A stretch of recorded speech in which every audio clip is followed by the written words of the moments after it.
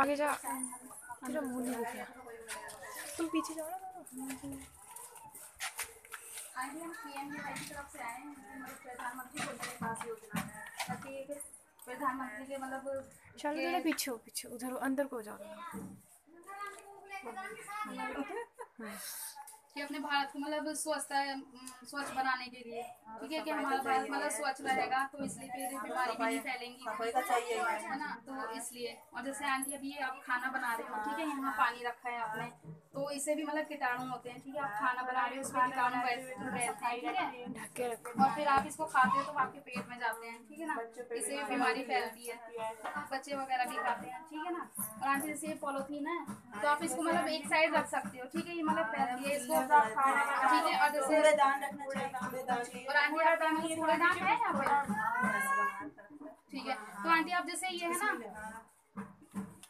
जैसे ये है ठीक है तो आप इसमें ना सारा मतलब कूड़ा जो है इसमें रख सकते हो ठीक है? एक तरफ़ मतलब इसे साइड में रख सकते हो ठीक है जैसे ये है ठीक है? आंटी जी जैसे बच्चे होते हैं और आंटी जैसे आपने ये यहाँ पे रखा है खाना वगैरह ठीक है?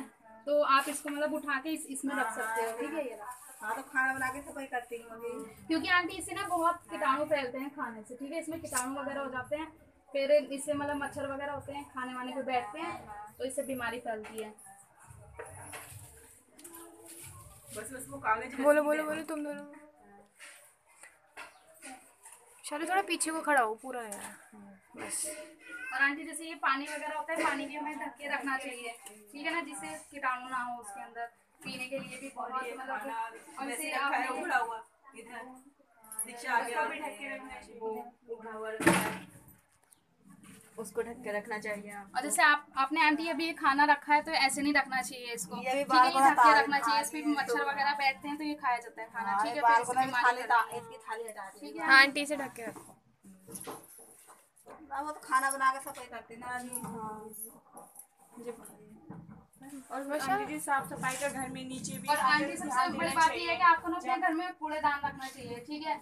और वो भी मतलब उसके अंदर हम कूड़ा डाल देते हैं तो वो ढक देते हैं ठीक है? तो उससे कोई बीमारी नहीं फैलती मच्छर वगैरह नहीं होते हैं ठीक है? जब कूड़ा हो जाता है तो वो डस्टबिन में बाहर डाल देना ठीक है आंटी? हाँ बाहर तो डाल हैं पूरा अब जब खाना बना खाना बना के साफ़ सफ़ाई करते हैं।